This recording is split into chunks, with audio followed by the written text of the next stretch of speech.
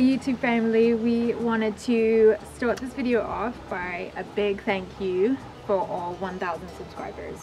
Super excited. I mean, even when we started, there was like 20 people watching, and now it's really awesome just to see your comments and to just have you guys following us on our journey and our mistakes and all the funny things that happen along the way. Yes. So thank you guys. Creating this awesome community, and we really appreciate each and every one of you. Today um, is bus tour day. Just like this. Bus tour.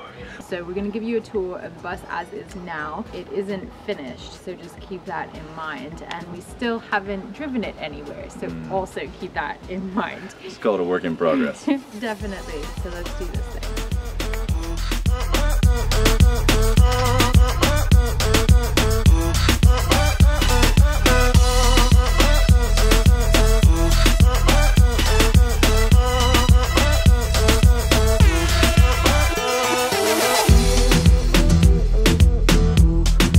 Do this.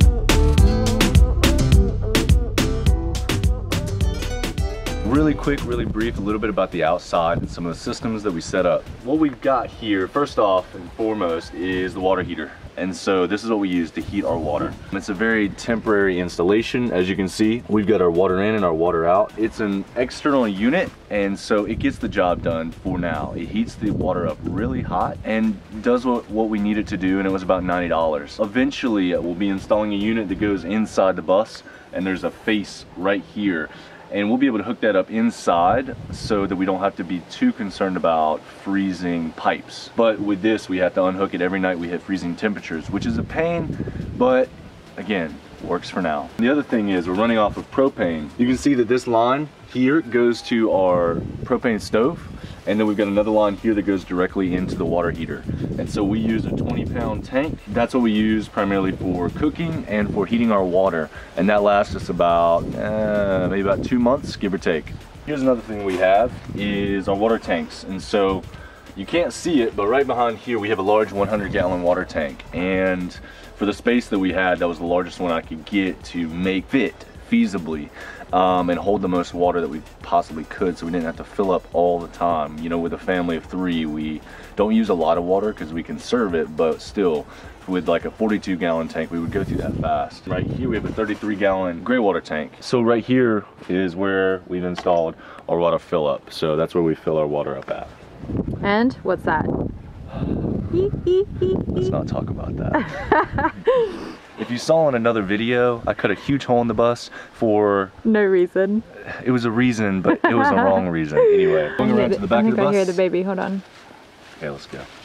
What are you doing out here? are you warm?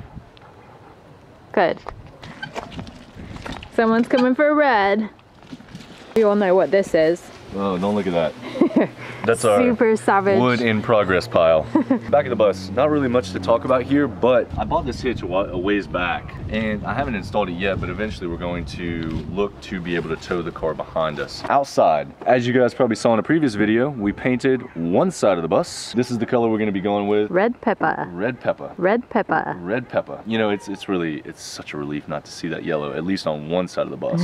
so eventually the rest of the bus will be covered. You can see we got rock climbing holds that we installed, really difficult holds. Expert only. Expert level, and we're not experts.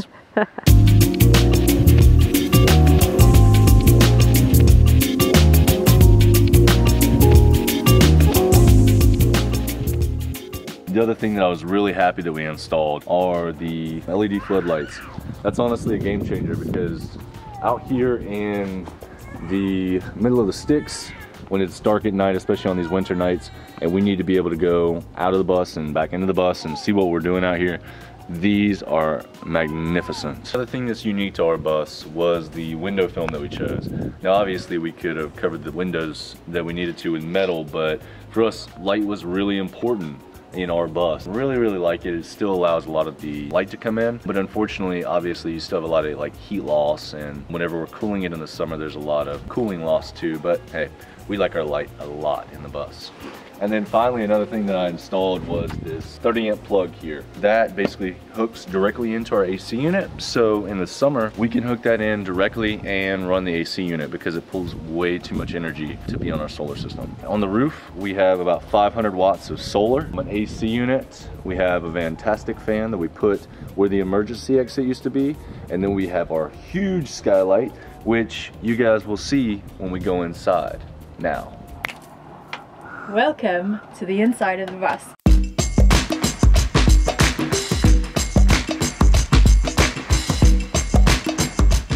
We have our camel hair feng shui here, slash coat hanger hook, and also maybe wrap hanger, so all our carriers for the baby and outdoor gear and this just really helps keep us warm in the winter. We also have that Reflectix behind that door to cover up the breeze that comes through.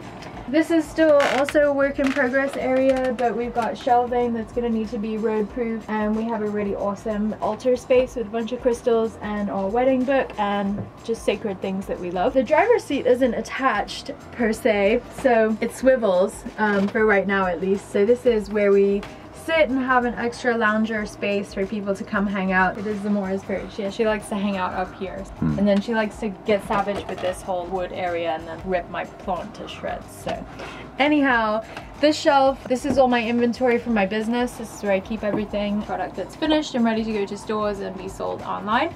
And this piece of wood is also really special. It came from a pallet that we had for our wedding that was used as a display. This is also kind of some storage over here. We have a plug that we're using here that plugs into our water pump and also our diffuser. Storage also under there it's what we call our poop pile. This is also our sofa space and the whole thing lifts up and we have more storage under there. So that's all packaging, for my business stuff and then also a printer. All stored away so it's not ugly. Curtains with the Reflectix behind them to help keep everything warm during the winter. Hopefully in spring and summer and fall we'll be able to open up all the windows and let way more light in because as Justin said we love sun. So then here is kind of like our dinette area. This table has a temporary leg here attached to it that will eventually have a metal pole that will be able to rise up and down so that we'll be able to lower it so that it's level and then add another cushion to have an even longer sofa space. And then we can, if we want to, raise it up higher so we can have a standing work table for like computer stuff or whatever.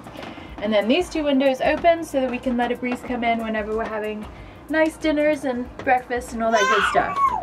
Our benches are also kind of higher than maybe the standard bench, primarily because these two drawer sets used to be my desk that I used in my home studio and I really really wanted to keep the desk. So these drawers all open up to have my business stuff um, for jewelry making, all my essential oils. So that's this whole front area. This area also is kind of a work in progress. We were planning on putting a wood stove here, but for right now we're just using this electric oven. What even is it? It's an oven. The heater? Heater. Electric heater. Warm and it's a real fire. It actually is quite warm in here. Come here. You're gonna be in the video. Welcome to the kitchen.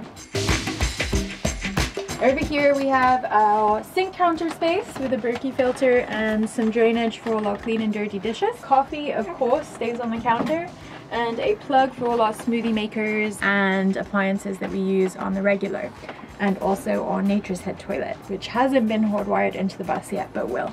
Over here we have a drawer with all our cutlery and all that other good stuff that we need to eat our food. Very messy in there. Um, and then we have our dinnerware, so we've got plates and bowls and all that other stuff and cups that came with the Berkey at the back we've got bigger serving platters for like chips and dip and deviled eggs and just other jaws and tupperwares that we use pretty Great regular yeah I use that for my overnight oats it's hmm. actually the perfect size use what for your overnight oats Great Poupon use Grey Poupon. Hmm, Great Poupon. Yeah, I use these for my overnight oats. They were from Costco and I love Great Poupon. They should sponsor me, like for real. and then on this side of the counter, Oh, Which you probably don't want to look inside there. We've got a ridiculous amount of recycling that needs to go out for right now. look at the honeybees. Yeah, we've got little honeybee doorknobs. And then this is a project that's still also in progress. It's wood burnt and so one is the sun and one is the moon. Justin and I both have matching tattoos or kind of matching. One is the sun and one is the moon and Azalea will have to be a star. So So this is where we keep all our rubbish and recycle and plumbing and also the cat food and we have our water pump in there at the back. so red. Oh yeah, this is also where we hang our well-used drying rack. Da-dum. Okay, so on this side it's all our dry pantry goods. Um, everything we try and buy as much of it in bulk as we can because we eat a lot of whole foods. Underneath we screwed the lids onto the underside of this wood and that is most of our spices. So this wood was salvaged from a pallet and we just basically sanded it down, filled it with rope and then we still have to do a really thick resin coat so that there's no grooves and divots. But that's this little piece of furniture here which also has bigger things. We've got our coffee maker, tea pot and all our appliance bits and bobs and whatnot. So we've got a juicer, a food processor, and a Vitamix, and I think that's it. Oh yeah, uh, what's it called? Bread maker. Then we have our cutting board here that serves as our kitchen counter, except when we use it as a cooktop. So we just have the regular Camp Chef. It's like a little baby oven. And we have our amazing tile so that we don't set the place on fire because we've done that before. Underneath this oven, we've got all our pots and pans and all that good stuff. I think Justin should do this next part of the bus. Hey guys, so we've got our AC unit here and it was really tough installing this because it sat so low, it really got in the way of the headspace. So I had to put it up as high as it possibly could go. Here it still clears my head just by maybe not at all, but just enough for me to get by. We boxed it into the ceiling and uh, yeah, it does the trick. Chalkboard. This is what we use to put the groceries on our list and it also, whenever we decide on what meals we're gonna have this week, we put the meals down here. This is our wall of fame. Wall of Fame. Wall of famous people holding azalea and just life had with others on a Polaroid Kodak moment. Moving forward, we got our fantastic fan. It's a dream, primarily for our oven and for our shower. We have our refrigerator, which is an Insignia um, 9.9 cubic feet and it gets the job done. We're having a couple issues with it right now. I would tell you about those issues, but we're not sure what they are yet. We're still Open trying it. to figure Show that out. So we have Antarctica Look, in here. blizzard. if anyone knows what might be happening, that would be really helpful. Justin broke the knob off because he thought it was over frozen and Emery thinks that it is because that there is a leak in the airflow. So Still working on that. Yes. So we have a little bit of uh, cabinet storage space up here for some recipe books and some Jibby Went. Jibby Went. Yes. Every time we go to well, the store. it was on sale. Look, every time we go to the store, she has to go for the sale that's like buy 15 of them for like $2. And so I'm like, all right, cool, let's buy two of them and get them for like 20 cents or whatever that breaks out to be. She goes all 15. So we got beans for like the next year. We had just recently installed this curtain to our bathroom. Again, work in progress. But we've got our composting toilet. We got a little light here. We have Juby, the marijuana goddess. This is where we hang our towels. This is our diaper pail. And uh, this is where we keep all our toiletries and jewelry. Here, you might notice from the cutout that Juby did, she did a smashing job on this door. This is our cat door. So we have our litter box down here. This is where we store our diapers and baby wipes. Eventually this will be covered with a layer of epoxy. We torched each one of these 4x4 cuts to kind of give it like a little, you know, checkerboard pattern.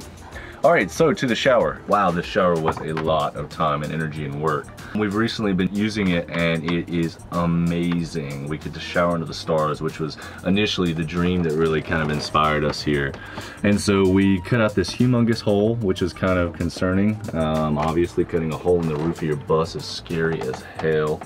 But we cut it out, put this humongous sunlight in and it's just amazing. I think you guys have seen in past videos of us tiling the shower. A very long, laborsome process, but 100% worth it. It's beautiful. We have this floorboard here. Yeah, which has kind of bounce to it because of the way that we plumbed out the drainage of I won't the go into the design, No, but it's fun to walk on. It's functional and it's a little bouncy, so it's a little fun. Eventually, well, there'll be a shelf here and the plants will all hang down so that we don't have to worry about the plants when we're driving. I am a huge, huge fan of rain heads. So in this design, we had to have a rain head.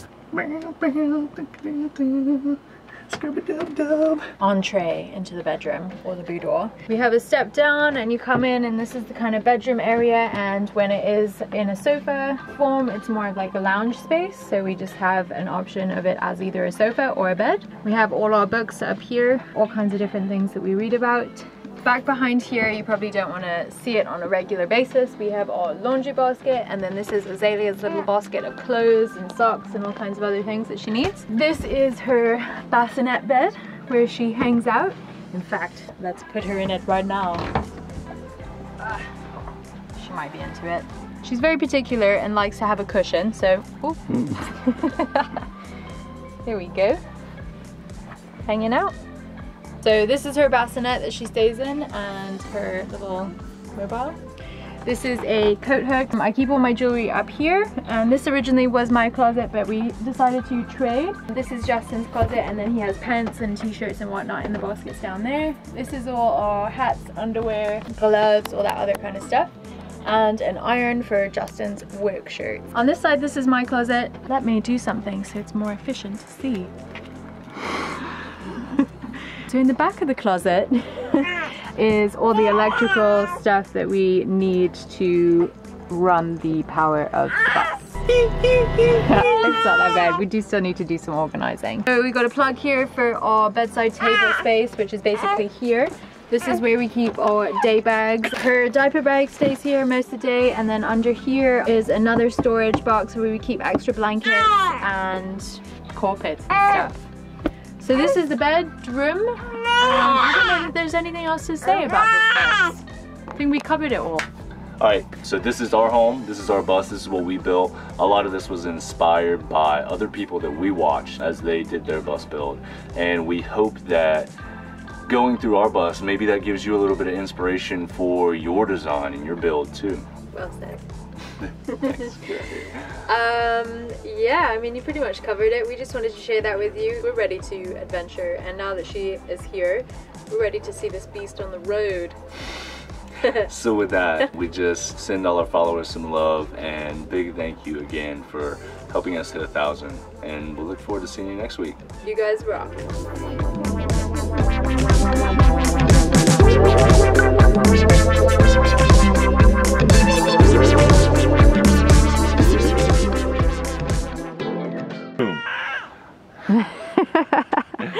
Another thing that we added that was unique to this bus is the window film. You know, we had the option to cover the windows, but for us, light in the bus was super important. So for us, window film was a good medium. Now obviously... She's so angry.